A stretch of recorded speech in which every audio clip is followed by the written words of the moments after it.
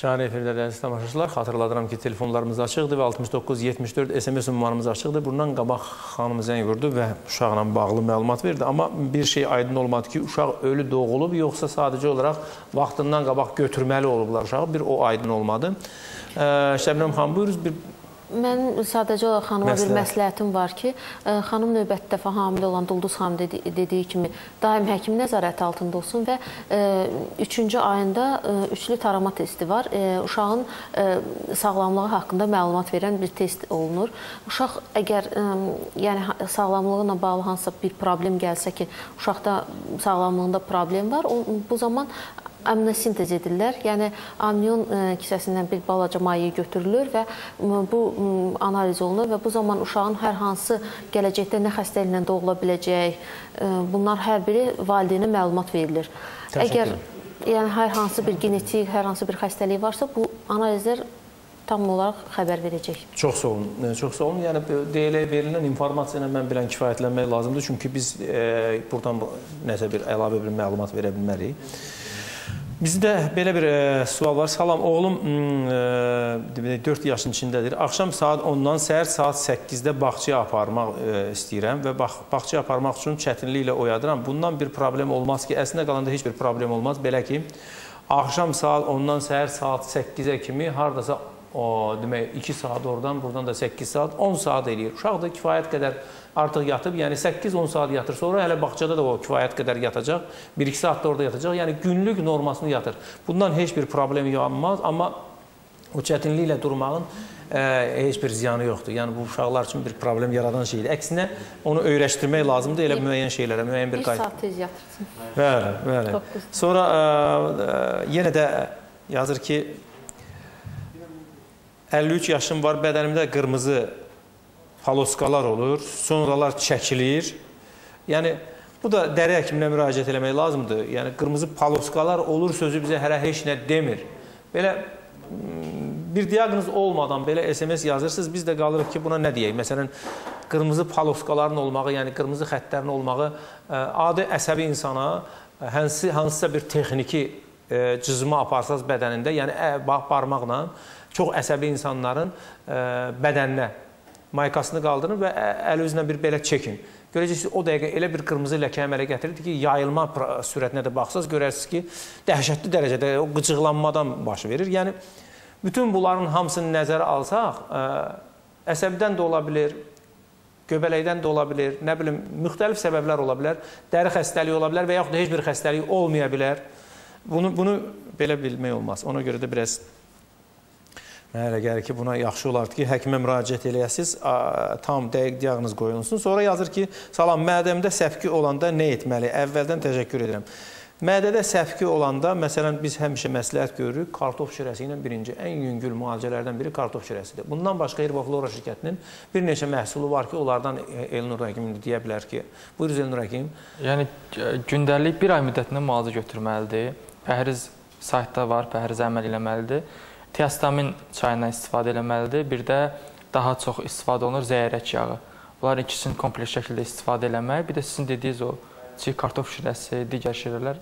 Kartof şirəsinin özü də içmək qaydası belədir ki, hər səhər e, yeməkdən əvvəl çalışmaq lazımdır. Kartof çox şaxtada, soyuqda olmasın. Kartofu təzə çəkib elə suyunu əvvəl yarım stəkandan başlayıb sonra bir stəkana qədər 10 gün, 15 gün müddətinə daxilə qəbul eləmək olar. Buyuruz Ulduz xanım. Əlavə olaraq alo şirəsindən istifadə edə bilər. Alo şirəsi demək alonun yarpaqları alınır, soyuducuda saxlanılır 10 gün müddətində. Burada əlavə biostimulyatorlar yaranır. Sonra onu ət maşından keçirir, şirəsi çıxarılır. Birin birə nisbətində bal qarışdırılır yenidən soyuducuya qoyulur. Gündə 3 dəfə bir xörək qaşığı yeməkdən bir 30 dəqiqə əvvəl daxilə qəbul edilir. Yəni o qutarana qədər bir ay müddətinə qəbul etsin səpkiləri götürər. Təşəkkür edirəm. Burada bizim SMS-lərimizin içində fikir verir. Mən əziz, imişlidən sizi narahat eləyirəm. Mənim qaraciyərim piylənib. Yəni piylənmə ilə bağlı ə, neçə SMS var, elə hamısında bax kimi. Deyəsən bu ə, son zamanlar bir xroniki hala keçib cəmaatın içərisində. Həqiqətən də piylənmə çox geniş yayılmış bir xəstəliyə çevrilir. Sonra yazır ki, bir də hepatit barədə yazır ki, xahiş edirəm deyəsiz, ə, qızımda hepatit C var 3-4 xəstə 3-4 ilin xəstəsi deyə belə yazır. Bütün analizlərdən çıxıb arxası oxumaq mümkün deyil. Bax belə. Və yaxud da ki, qızımda hepatit C var, e, bütün analizlərdən çıxıbdır. Qaraciyərin xəstə olmasını nədən bilmək olar? Çox qəribə bir SMS-dir. Qaraciyərin xəstə olmasını nədən bilmək olar?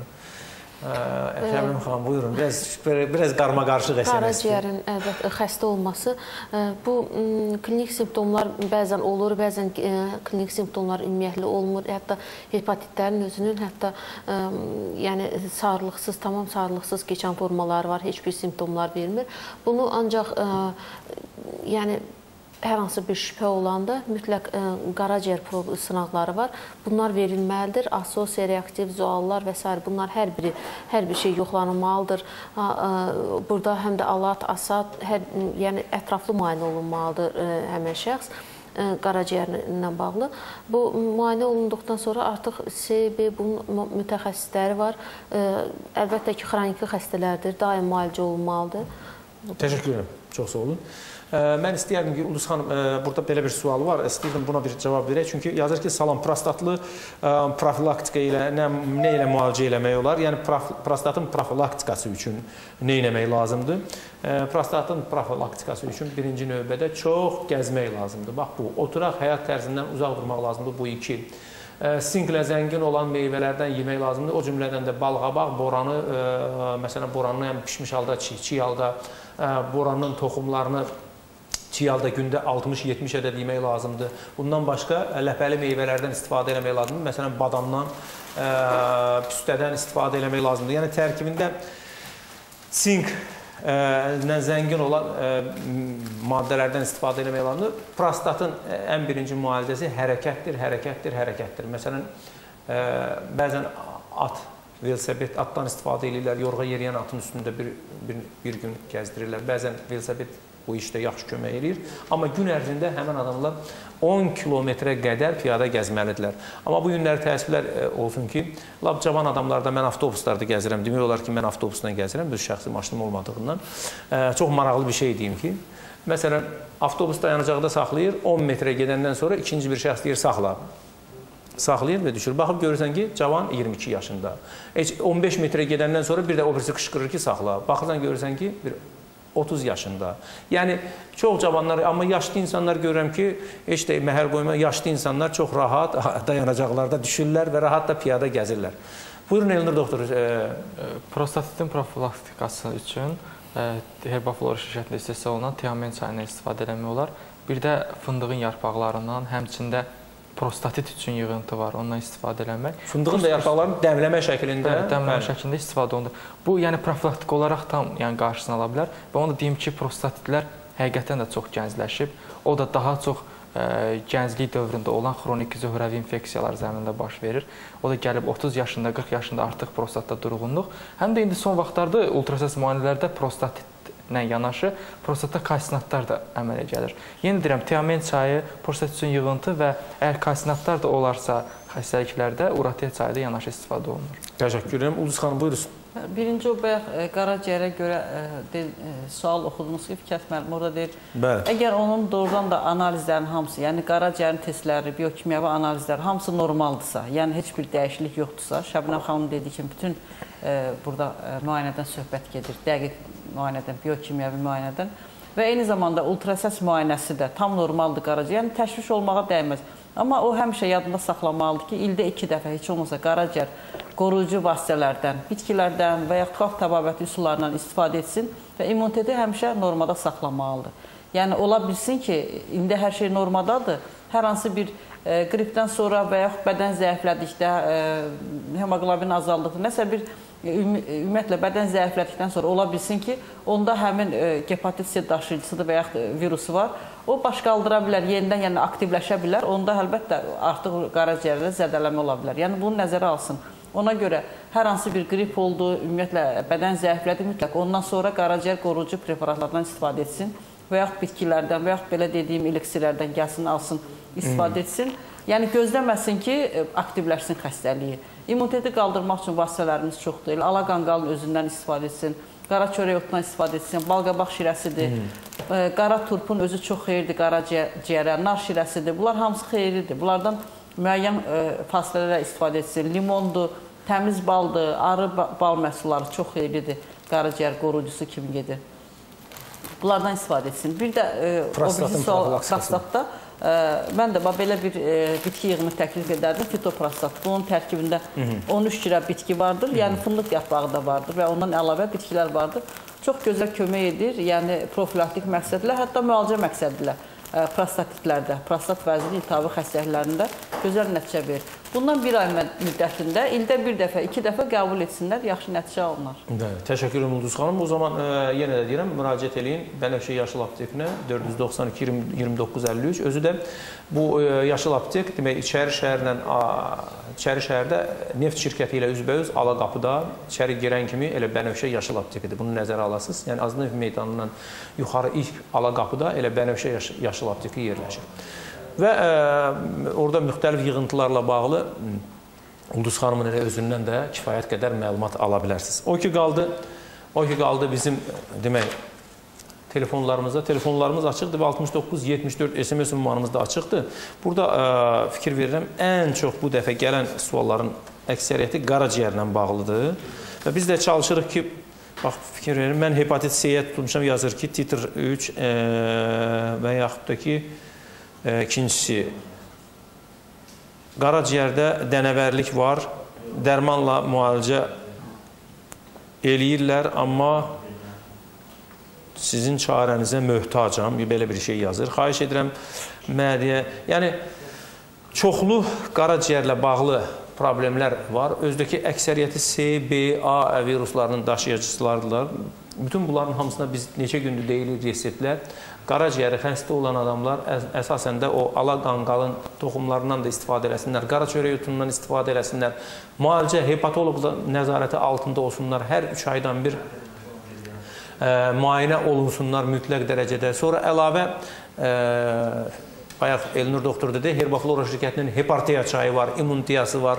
Sonra ala qanqalın özünün səhv eləmirəmsə, həm toxumları, həm də hazır vəziyyətdə Herbaflora şirkəti tərəfindən. Bundan başqa Ulduz xanımın da orada eliksiri var. Ə, xüsusi ciyər üçün də ə, demək Bəli, hepar bitki yığımında var. Bu da hepar ə, Bunun yığımında var. tərkibi yeganə bitki yığımıdır bizdə. Bunun tərkibində bitkilər biraz çoxdur, 19 cürə. Yəni maddələr mübadiləsini bərpa etmək üçün çox gözəl bitki yığımıdır və qaraciyərin funksiyasını bərpa etmək üçün. Yəni bundan da istifadə edə bilərik. Əla, çox gözəl. Amma bir, burada bir şey e, qeyd eləmək istəyirəm ki, bəzən e, deyirsiniz ki, dərmanlardan yorulmuşuq və dərmanlar bizi sağaltmır. O zaman şübhəsiz ki, e, müraciət eləmək lazımdır fitoterapevtə. Bayaq dediyim kimi, yəni bitkilərlə müalicə edən can həkiminə. Məsələn, Ulduz xanım onlardan biridir. Bilmirəm nə qədər şəhərimizdə can həkimi var, fitoterapevt. Onu bilmirəm. Dəqiq tam mənim bu barədə belə bir e, statistik e, arayış aparmamışam, amma hər halda bir neçə adam tanıyıram. Onlardan bir də e, Dəmir yolu xəstəxanasında işləyən bizim həkimimizdir ki, Mikail doktordur, Mikail Səfərov. Məsələn, o da belə bir həkimdir. Yəni bir neçə həkim tanıyıram ki, belə var. Əgər müraciət eləmək istəyirsinizsə, o zaman bu həkimlərə müraciət eləyin. Yəni bitkilərdən müalicə olunur. Alo. Alo. Alo. Bəli. Salam əleykum. Əleyküm salam. Mənim sualım fronkulla bağlı idi. Mən 2000 Nə ilə bağlı xanım? Fronkul. E, Bəli.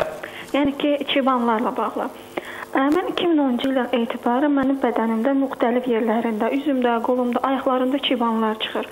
Yəni bunun səbəbini bilmək istəyirdim ki, bu nə ilə əlaqədar ola? Bu ilə necə mən müalicə ala bilərəm ki, tamam təmizlənsin bədənimdən, belə şeylər olmasın? Təşəkkür edirəm, çox sağ olun, Ulduz xanım. Bəli, mütləq xanım, yəni qan təmizləyici vasitələrdən istifadə etmək lazımdır. Yəni bitkilər daha yaxşı kömək edər. Belə bitkilərdən biz deyə bilərdik ki, Vasilyok bitkisi deyirik həmişə peyğəmbər çiçəyi. Çox gözəl vasitədir. Yəni elə ədəbiyyatda da bu çibanların təmizlənməsinə istifadə olunur. Onu dəmləyib içmək lazımdır. Bununla yanaşı başqa bitkilər, sığır quyruğu var, bənövşənin kökləri var. Çox gözəl qan təmizləyici bitki vasitələridir. Bunlardan dəmləyib bir müddət, bir heç olmasa 20 gün, bir ay müddətində daxilə qəbul etmək lazımdır. Bu dediyim bitkilər elə belə limfa təmizləyici yığım. Biz belə bir yığımda düzəldirik. Bu elə qan təmizləyir, limfanı təmizləyir. Elə ümumiyyətlə e, kimdə çox səpgilər olur, kimdə çox çibanlar olur. e, kimdə immunitet aşağıdır istifadə edə bilərlər. Yəni qan təmizləyici. Yəni müraciət edəndə desin ki, ki, limfa təmizləyici yığım Yığım. desə, o yığımı ala bilər belə Bəli. bir şey. Bunlardan istifadə etmək lazımdır. Qidasına müəyyən qədər fikir vermək lazımdır. Yəni vitaminlərlə zəngin qida, xüsusilə xüsusilə tərkibində vitamin C olan e, qidalardan istifadə çox etmək lazımdır. İt burnunun elə adicə dəmləməsindən, amma onu balla qəbul etsin. İt burnunu bir iki xörək qaşığı götürür, e, stəkan yarım suda 10 dəqiqə qaynatmaq lazımdır. Yarım saatdan sonra süzür, bir çay qaşığı bal əlavə etsin. Gündə iki dəfə səhər, axşam bunu da qəbul etsin. Çox kömək edir. Təşəkkür edirəm. Çox sağ olun. Şəbnəm xanım, əlavəniz var deyirsən. Fikir, mən, mən düşünürəm ki, bu xəstəyə individual yanaşmaq lazımdır. Burada mütləq xəstəni müayinə edib onun qaraciyər, dalağın ölçülərinə baxmaq lazımdır. Daha sonra bu bətin daxili infeksiyalar hesabına hər dəfə bir yerdən çıxır bu çibanlar. Mütləq ə, həmən infeksiyanın da növünü aşkar etmək lazımdır hansıdır. Təşəkkür edirəm. Çox sağ olun. Elnur həkim. Bəli, yəni qan təmizlənməlidir və autoimmoterapiya da məsləhətdir. Heç olmasa 6 aydan bir elənsin. Yəni o çıxsa da, çıxmasa da. Təşəkkür edirəm. Məsələn, ə, ə, belə xəstələr yaxşı olardı ki, məsələn, sarımsaq cövhəri biz deyirdik, ə, ondan da istifadə edə bilər. Bu nədir? Ə, sarımsaq ə, spirtdə tinktura olunur. Məsələn, tutaq ki, bir baş sarımsaq ə, ola bilər ki, 200 qram spirtdə tinktura olunsun və sonra damcı şəklində qəbul olunsun. Gündə tutaq ki, bir damcıdan başlayaraq 30 damcıya qədər çatdırmaq olar. Belə bir sxem var. Gündə bir damcı səhər, bir damcı günorta, bir damcı axşam və yaxud da belə bir sxem var. Bir damcı, iki damcı, üç damcı. Birinci gün bir damcı, iki damcı, üç damcı. İkinci gün 3 damcı, 4 damcı, 5 damcı. Belə bir sxem var. Hardasa bir 30 damcıya çatdırılır. Hər gün su ilə daxilə qəbul olunur, gündə 3 dəfə və sonra geri gedilir və bununla da bitir. İldə təxminən bunu bir dəfə etmək olar və yaxud da bunu 5 ildən bir də etmək olar. Yəni belə bir şeylər var və yaxud da ki dediyimiz o limonla ə, balın ə, ki götürülür 10 limon, 10 ədəd sarımsaq, 1 kiloqram bal. Limon təmizlənir qabığından, suyu sıxılır, tumları çıxarılır, sarımsaq əzilir, suyu sıxılır, 1 kiloqram bala hamısı qatılır. 7-14 gün saxlandıqdan sonra gündə hər səhər 4 qaşıq sorma şəklində daxilə qəbul olunur. Çay qaşığı. Çay qaşığı, 4 çay qaşığı. Niyə görə bunu 4 çay qaşığı eləyiblər? Yəni bunu eləmək olar ki, bir xörək qaşığı qoymaq ağzına. Bunu sormaq lazımdır, ağızda sormaq lazımdır və bir də belə bir e, üslubdan istifadə eləyin. E, duru yağı ağzınıza alın. Ağzınızı ə, o qədər yaxalayın ki, o duru yağı yağ ağ şəklinə düşsün. Sonra onu tüpürdükdən sonra ikinci dəfə bunu eləyin. Ağzını ağzınızı yaxalayın və bunu da gündə bir dəfə eləyin. Təxminən bir 10 gün müddətində də bunu eləyin. Yəni belə ə, müalicə vasitələri çox yaxşı nəsil. Çox yaxşı reseptdir. Həm də bəzən müraciət edirlər ki, çənə altı burada bəzədə şişkinlik olur. Mübadilə pozulmuş insanlarda bax o dediyiniz resept bitki yağı e, çeynəyib tükürmək çox gözəl təmizləyir. Yəni boyun hissələrdə limfaların sorulmasına, deyir. şişkinliklərin götürülməsinə yaxşı kömək edir. Təşəkkür edirəm. Elnur doktor əlavəniz var, yoxdursa biz ə, bizim çox az ə, vaxtımız var. Burada bir babasil ə, ə, ilə bağlı sual var. Yazır ki, ə, əməliyyat olunsa, operasiya olunsa yazıb ə, qorxusu var. Əslində qalanda hətta barmağa tikan batanda da qorxusu var. Amma əməliyyat olunsa nə qorxusu olunur? Əgər məsləhət görülübsə, yəni hər- həkimlər tərəfindən bu məsləhətdirsə ki, cərr yalnız cərrahi yolla bu müalicə olunmalıdır. Deməli belə olunmalıdır. Çünki ə, elə stadiyalar gəlib çıxa bilər ki, artıq ə, burada başqa ə, müayinə və müalicə vasitələri əl vermir. Ona görə də mütləq cərrahi üsulla bunu ə, müalicə eləmək lazımdır. Amma babasilin müalicəsində ən çox vasitələrdən biri, yəni elə belə babasilə getməmək üçün qəbzlikdən qurtulmaq bu birdir. İkinci, e, demək, mədə-bağırsaq sisteminin müalicəsi aparılmalıdır. Bu, bu mənada Herbaflora şirkətində bir neçə məhsullar var. İstəyərdim Elnur doktor, onun qısa vaxtımız var, onun adını çəkəsiniz. E, Babası üçün babası ilə əleyhinə yığıntı, Yığıntı var. var. Sonra həmçinin e, orada qəbizliyi aradan götürmək üçün teoxalin var və ba- mədə bağırsaq üçün çay var ki, ondan istifadə edə bilərlər. Təşəkkür edirəm. Ulduz xanım sizdə də deyəsən babası ilə. Bəli, biz də belə bir e, məlhəm düzəldirik, babasil əleyhinə məlhəm. Aha. Bunun tərkibini tənəffüsdə siz o saatca ətrindən bildiniz ki, gülünbahar var, doğrudan da var. Gülünbahardan əlavə 5 dənə də bitki var, onun yağını alırıq. Çox gəz, gözəl, yəni məlhəmdir. Bundan həm Bu daxili o babası çatlarda, babasil çatlarında filan da daha yaxşıdır. Amma qanaxmalarda necə? Qanaxmalarda Bəli, qanaxmaya kömək edən bitki də var. Yəni bunu həm şam şəklində də qoymaq olar, həm də xaricdən sürtkü kimi istifadə etmək olar. Təşəkkür edirəm, çox sağ olun. Hər birinizə öz minnətdarlığımı bildirirəm. Belə ki, e, məsləhətləriniz üçün və tamaşaçılarımıza da minnətdarlığımı bildirirəm. Bizə zənglər vurduğu üçün, SMS-lər göndərdiyi üçün. Biz sizinlə e, düz bir həftə müddətinə sağollaşırıq. Əsas odur ki, bax elə bu dəyişən havalarda siz dəyişməyin, özünüzü qoruyun, salamat qalın.